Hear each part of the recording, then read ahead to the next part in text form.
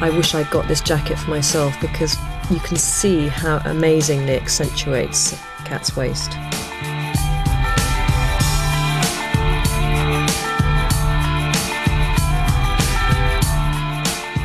The ruching on this top is so great if you have slightly smaller bust, just to give it a bit of enhancement.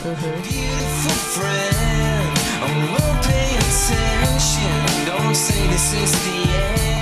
combination of the blues and greens are so flattering to Kat's colouring with her red hair and her hazel eyes. Can I tell you once again?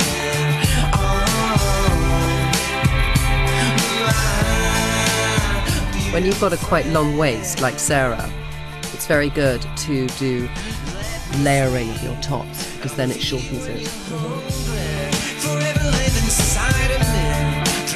Very pretty this skirt on Kat, because it's kind of flirty and fun, which is quite a hard thing to do if you're quite small, but it's not too enveloping. Love is all. Sarah's come so far wearing this kind of look, which is something she wouldn't have dreamed of doing. Mm. But for her kind of catwalk figure, it's mm. perfect.